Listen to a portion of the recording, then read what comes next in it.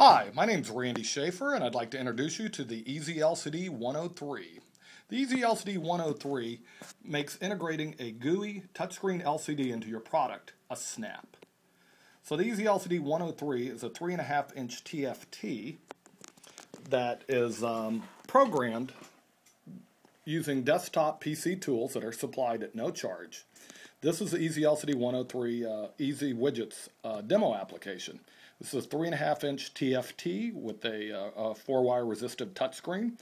Uh, this application was developed in a language called Lua. It actually allows you to run a language, a scripting language, which you can find out more about at lua.org.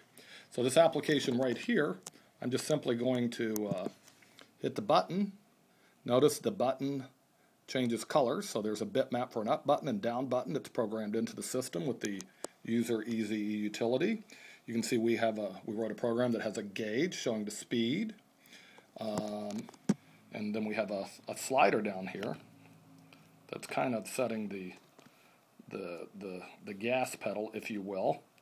And then on the uh, left side, we've kind of faked a temperature gauge there. So that's the ezLCD 103.